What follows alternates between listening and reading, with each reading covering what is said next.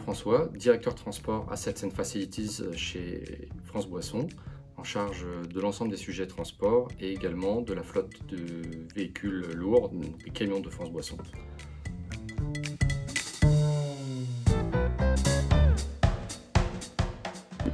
France Boisson a adhéré au programme EVE euh, qui euh, aide les entreprises de transport à mesurer euh, leur impact CO2 et également à mettre en place un programme de réduction de ces émissions.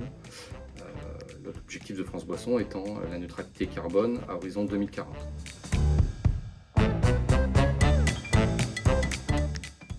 Alors tout d'abord, nous incitons l'ensemble de nos transporteurs à adhérer au programme Objectif CO2 euh, dans le but de, définir à leur niveau des programmes de réduction de, leur empreinte carbone.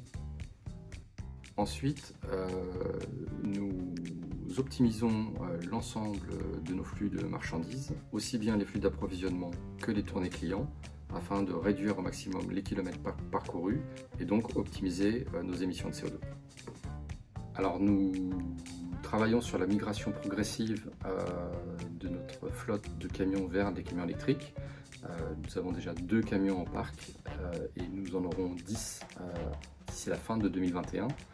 En parallèle, nous travaillons également vers, sur un biodiesel qui nous permettra de réduire beaucoup plus rapidement en fait, l'émission CO2 de notre parc de véhicules.